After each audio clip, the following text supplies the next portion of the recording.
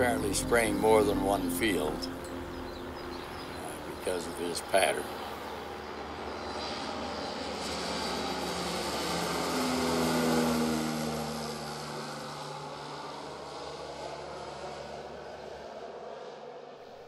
As a plant pathologist, my emphasis the last 55 years has been on control of soil-borne plant pathogens, microbial ecology, and biological control.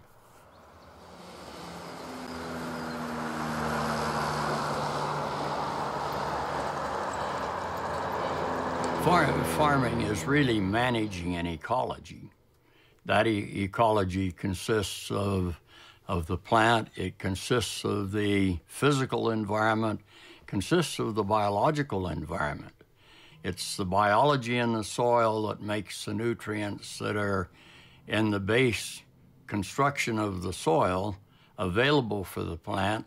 The plant takes it up, it's used for its growth, and that's where we get our minerals so that if it's not available in the soil, it won't be in the plant and then we become deficient in calcium and magnesium and manganese, zinc and copper, and all of the other nutrients that the plant would normally provide.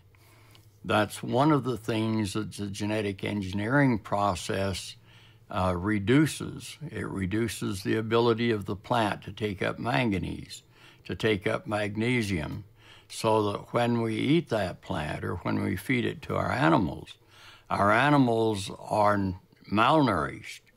They don't have the uh, essential minerals that they need for their proper growth or for their proper disease resistance. In the Roundup Ready plant, we find not only the product that makes that plant tolerant to glyphosate, but we find over 60 other proteins are also being produced Many of those proteins we have never seen in science before. They're not in the databases because they're not natural uh, proteins that can be chronically toxic or even as we found with the L-tryptophan, lethal on a very short term.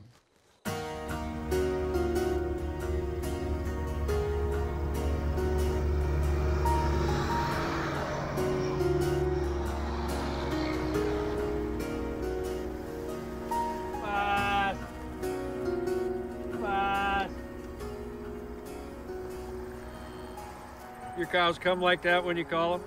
Bye-bye. This is part of our cow herd.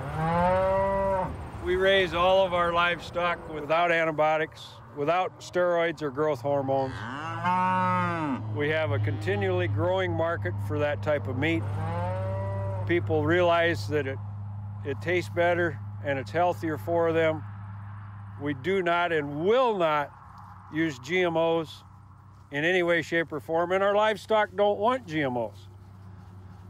The animals, I believe, are smarter than the scientists that are developing the GMOs.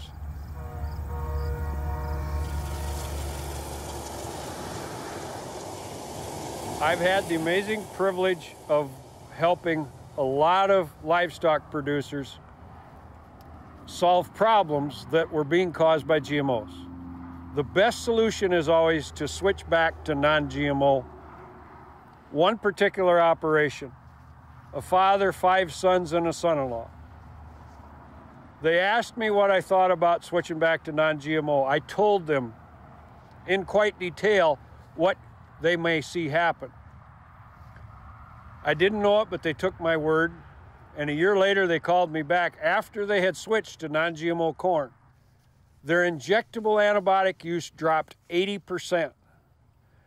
The animals were growing faster, they were eating more, and they had improved feed conversion.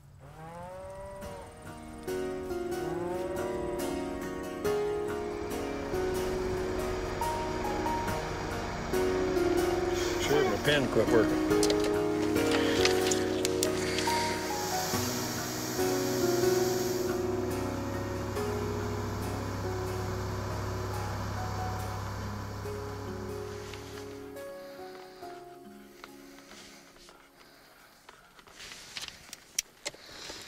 Okay. Now, imagine I have AstraZeneca, Syngenta, Bayer, Pfizer Pharmacia, Upjohn, and Monsanto written in the center of the circle. They're in the chemical business. We're using poison to raise crops. What do we raise crops for? Cereal and grain. What do we feed the bulk of the grain to? Livestock.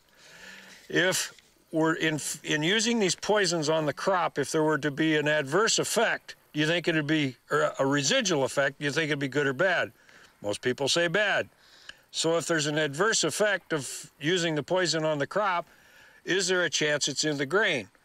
If it's in the grain, you feed the grain to the livestock. If the livestock don't feel good, who do you call? The veterinary. When the veterinary comes, what does he recommend you give them? Drugs to make them feel better. What if you want them to grow faster? What do we give them? Hormones to make them grow faster. What do we raise livestock for? Meat. Who eats the meat? The people. If there's a negative residual effect of having the poison in the grain that affects the livestock, could it be in the meat? If it's in the meat and the people eat the meat and they don't feel good, where do they go? To the doctor. After you go to the doctor, what might he give you a piece of paper with his autograph on, and where will he send you before you go home? The pharmacy. AstraZeneca, Syngenta, Bayer, Pfizer Pharmacia, Upjohn, and Monsanto are all in the pharmaceutical and chemical business. Does this present a positive cash flow for the companies in the center of the circle? You asked, why does our government allow this? Those scoundrels are running the different regulatory departments of our government. That's an easy question to answer. It's all about greed, money, power, and control by the handfuls of a few.